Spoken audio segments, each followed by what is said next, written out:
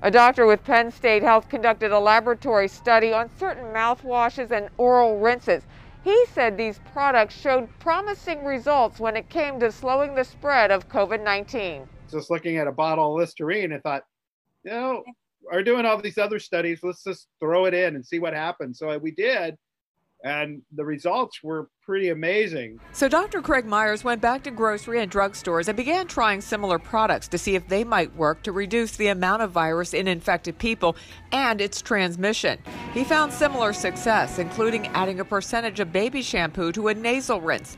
All the products needed to be used for at least 30 seconds and some more than a minute.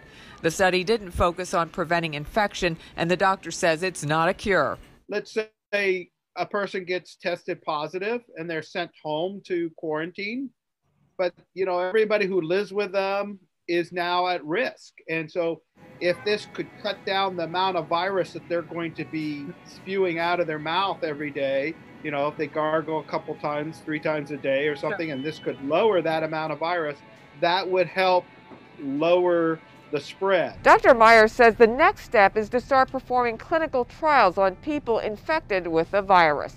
In Lancaster County, Barbara Barr, WGAL News 8.